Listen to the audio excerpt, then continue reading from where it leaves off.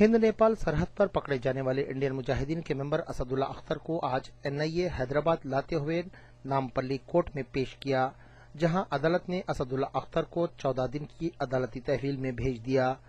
NIA ने अदालत से असदुल्ला अख्तर को 10 दिन की तहवील देने की गुजारिश की, जिस पर अदालत ने एनआईए को असदुल्ला अख्तर के 10 दिन की तहवील दे दी।